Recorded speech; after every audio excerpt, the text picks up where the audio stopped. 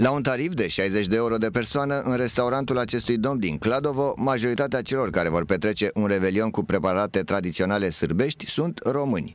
Proprietarul restaurantului spune că românii și-au rezervat locurile încă de anul trecut, iar cei care vor dori să-și prelungească șederea o pot face pentru doar 20 de euro pe zi în care intră mâncarea și băutura.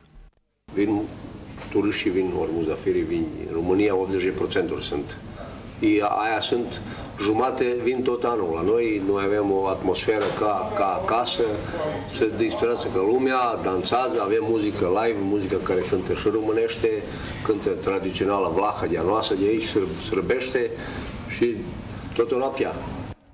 Într-un alt restaurant este o altă petrecere la care românii și-au rezervat locuri. Aici tariful pornește tot de la 60 de euro de persoană, iar meniul este de asemenea plin de preparate din bucătăria tradițională a vecinilor. Vezi la prevelimeni? Meniul este pregătit și uh, toate specialitățile care merge din zona asta, din zona de Serbia de răsărit, sunt pregătite pentru Revelion. La un restaurant de 4 stele, pretențiile cresc. Aici prețul este mai mare, 240 de euro sejurul pentru o persoană, în contul cărora turiștii vor petrece 3 zile. Doar petrecerea de revelion este 65 de euro de persoană. Hotelul are piscină și centru spa și în aceiași bani turiștii vor face și o croazieră pe Dunăre. Și aici românii sunt majoritari și veniți din toată țara.